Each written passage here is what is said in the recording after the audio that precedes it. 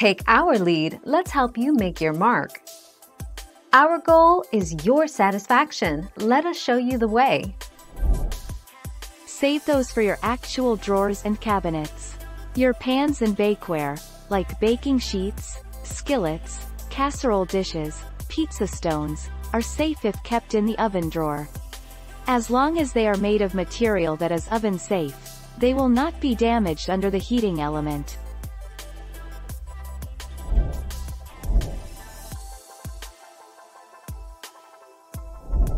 Make your mark, take our lead.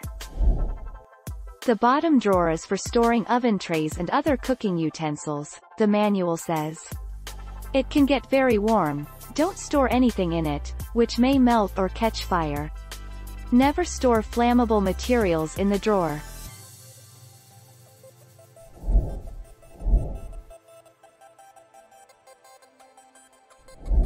Make your mark, take our lead. The most common items to store in the oven drawer are baking pans, cookware and skillets. A couple of organizing tips include stacking bakeware by size to maximize what you can hold in the drawer. Invert lids on pans so their handle does not block closing the drawer. Cookie sheets are best stored in another location. Thank you for watching. Please subscribe and hit the bell notification.